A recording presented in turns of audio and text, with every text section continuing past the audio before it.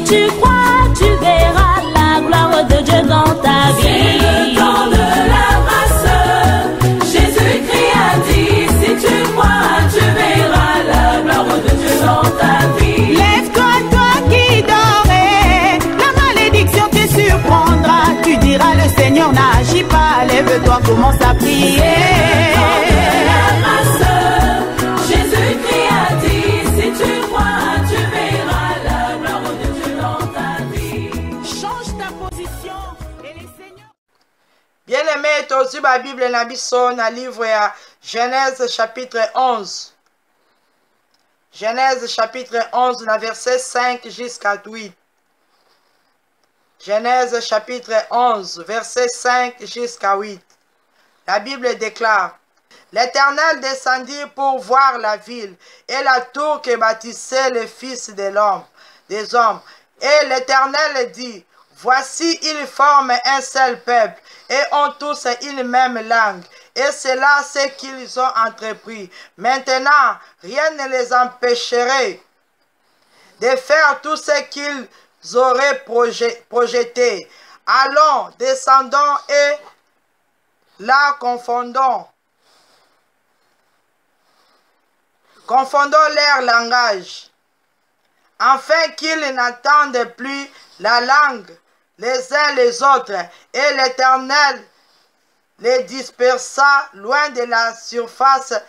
de, la terre, et ils, il cessèrent de bâtir la ville parole du seigneur bien aimé tika ete nzambe apambola yo apambola libota na yo bisika nyonso yo ozwami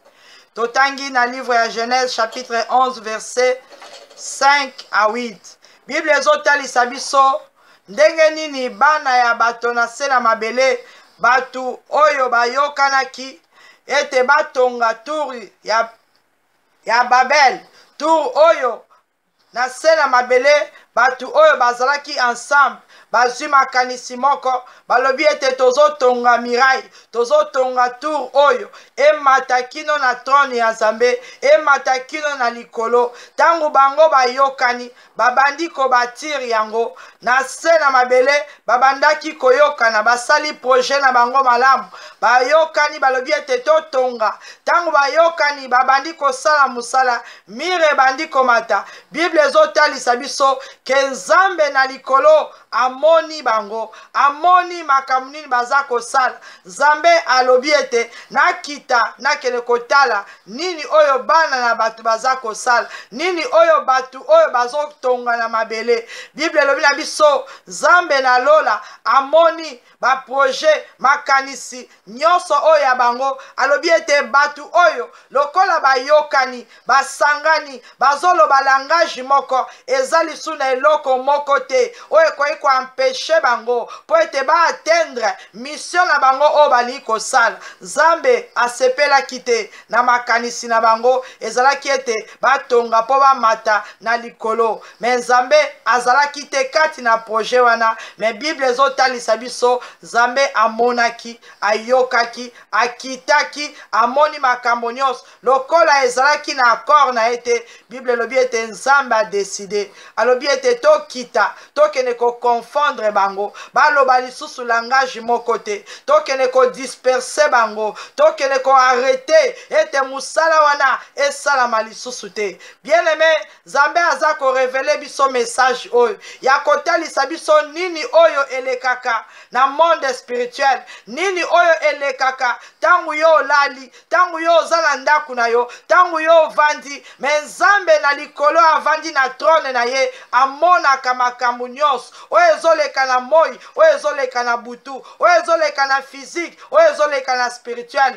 bible elobi na biso ete bato oyo basangani na moma oyo toyebi te banani oyo baza kosangana na gloire ya nani oyo bango bazosala bazosangisa baide bazosangisa force balobi ete baza kobatir toyebi te baza kobatir nini oyo nzambe azorevele yo na ngai azotalisa biso ete soki basalaki yango mpo na komata bakende kino na trone ya nzambe baza kapable ya kobatire ete bakoka, bakoka mpe kodestabilize vi na yo bakoka kopiege yo bakoka kodetruire yo baza kobatire na butu na monde invisible na monde tenebre bazosala baprojet ya mabe bazoloba meme langage me bible elobi ete nzambe na likolo oyo alalaka te oyo animbaka te amonaka makambo nyonso nyonso oyo ezali baplan satanique baplan maléfique oyo monguna akoki koprojete akoki koprepare contre peuple de dieu contre la voix de l'éternel contre nyonso oyo nzambe abongisa ya malamu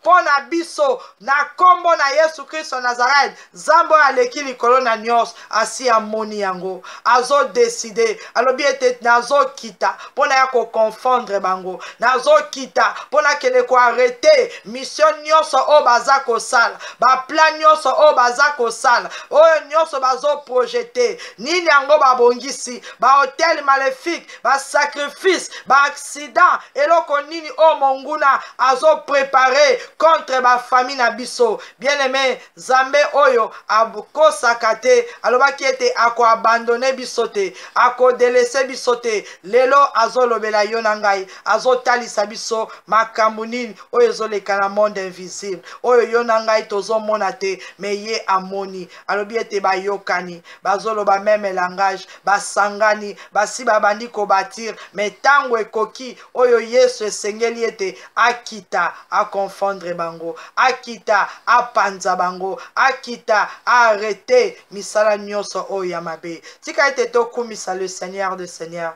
topambola nzambe na nguya oyo abatelaka biso butu na moi oyo azokontrole le ciel la terre oyo aza na controle ya situation nyonso oyo aza na liloba ya suka mpo na biso banda kobenir l'éternel des armées oyo asili korevele biso message oyo kumisa ye mpe pambola ye azali nzambe malamu merci seigneur jésus merci l'homme de galilée merci le roi des rois merci l'unique et le véritable dieu nzambe nakumisi yo mpe nasanjoli yo mpo na bolingo na yo mpo na grâce mpe faveur oyo osili koakorde biso seigneur ete na ntango oyo toyoka maloba na yo merci l'homme de galilée oza nzambe oyo akosaka te oyo abongwanaka te merci le tout puissant merci jésus christ de nazareth le dieu qui contrôle l'univers merci seigneur jésus l'omnipotent l'omniprésent topamboli yo mpe tokumisi yo mpo na grâce mpe faveur na yo merci mon dieu mon roi amen